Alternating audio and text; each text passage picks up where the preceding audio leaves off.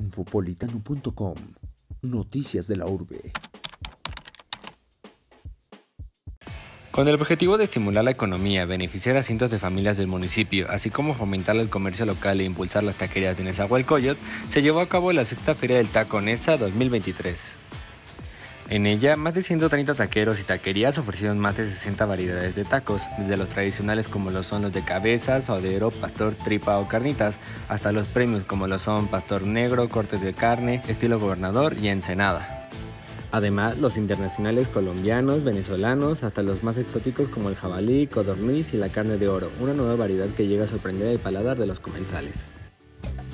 Es, es un gusto estar otra vez aquí, otro año más nos ayuda mucho en nuestros, en nuestros negocios el que nos busquen más en redes sociales. También fomenta mucho a nuestra economía, tanto como del municipio, tanto como para nosotros y nuestros compañeros.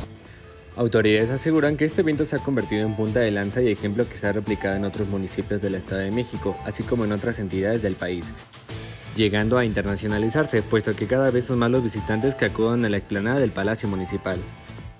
Gracias a la enorme variedad de costos tan accesibles para los comensales locales y visitantes, se promueven cientos de taquerías no solo de Nezahualcóyotl, sino también de municipios y alcaldías vecinas.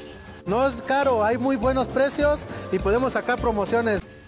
Para la realización de este tipo de eventos es posible brindarle a los habitantes del municipio espacios para la convivencia, el sano esparcimiento y sobre todo contribuyen a resarcir el tejido social, además de que hay variedad de tacos para todos los gustos y todos los bolsillos.